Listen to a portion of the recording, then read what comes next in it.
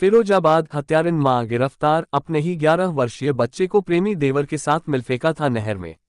20 फरवरी को दिया था घटना को अंजाम, प्रेम संबंधों में बाधक बन रहा था मासूम बच्चा। पुलिस ने बच्चे के शव को इटावा के पास नहर से किया बरामद। पुलिस ने दोनों आरोपियों को किया गिरफ़्तार। थाना शिकोहाबाद के रुकनपुरा के हैं दोनों आरोपी। पुलिस ने पूछताछ के बाद भेजा जेल।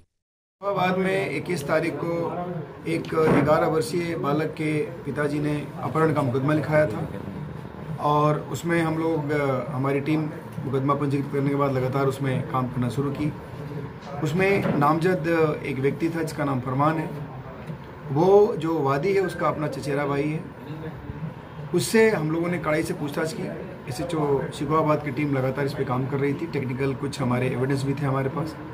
और जब उस फरमान से पूछताछ की गई तो एक बड़ी सनसनीखेज स्टोरी सामने आई, जिसमें ये जो फरमान है, इसने जो 11 वर्षीय बालक को यहाँ से अपहरण करके ले गया और ये उसकी हत्या करके इसने नहर में फेंक दी।